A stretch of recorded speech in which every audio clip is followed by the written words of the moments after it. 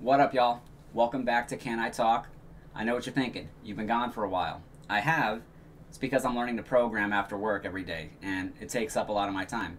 But I'm coming back into it now with a top five dead or alive MC list. Let's get into it. Can I talk? Can I talk? Okay, go on, let Let talk. me talk. Okay, talk, talk, talk, Let talk. me talk. Talk, talk. I decided to put a couple rules on this list, okay?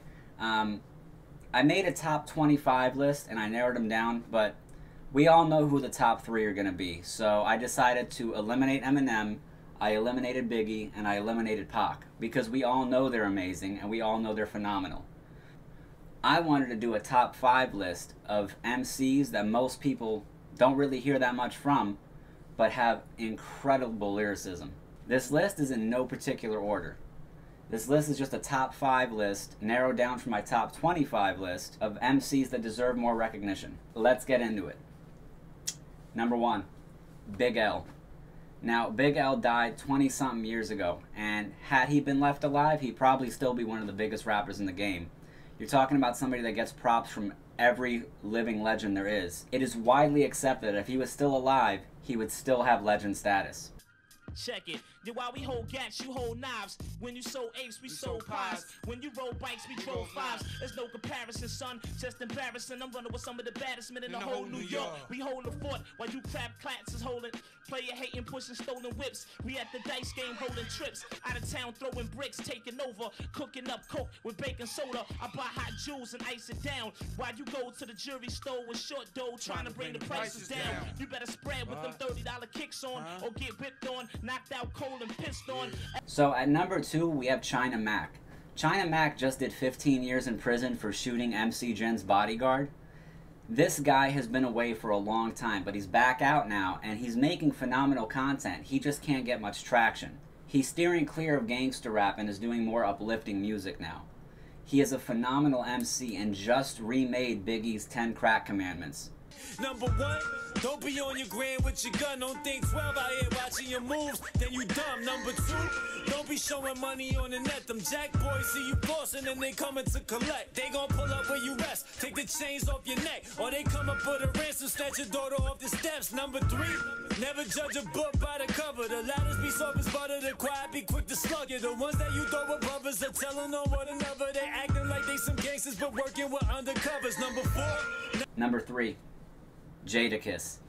Jadakiss to me just solidified his living legend status when he completely eviscerated Dipset and the Diplomats live on stage at Verzuz. Now, everybody in D Block did a phenomenal job representing their specific parts, but Jadakiss murdered them. He had this moment on stage that I'm actually going to play a clip of, and I think that was the moment he slipped into living legend status for me.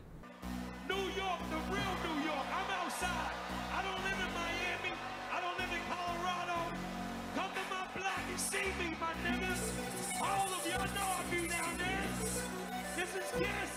I'm outside. Always deep block. I like this. I got a hundred guns, a hundred clips. Nigga, I'm from New York. What? Yeah, bro. Friday D block and shit. Nigga, fuck what you know. And oh, you can't take shit for granted. Cause life is too You short. know I got them checked. I got a hundred guns, a hundred clips. Nigga, I'm from New York.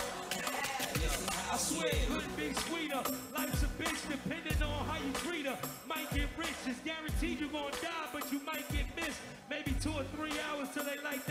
Here's a little side note.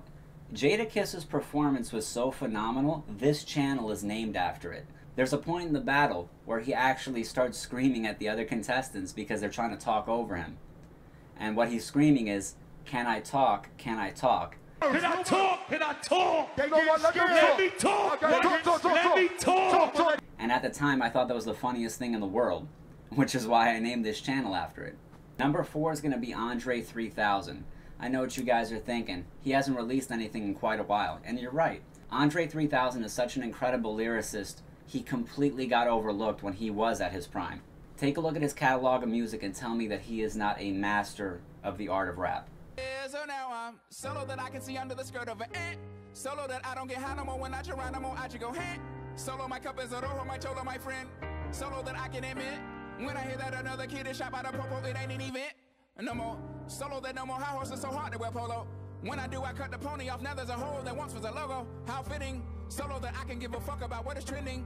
Trying to cut down on my spending, regardless of winning, instead of pretending and bending over backwards. Over half of these hoes had work done. Saying they want something real from a man, just saying that we being real persons. I hate that it's like this. I feel for you, and I don't know what it's like with a skirt on. So part of me if I am being insensitive, but darling, this only worse sons. Solo my halo, say way low, it feel like it's been. Solo that when they throw pussy or pesos, don't pay no attention to it. Solo that I am no rookie, but feel like a kid.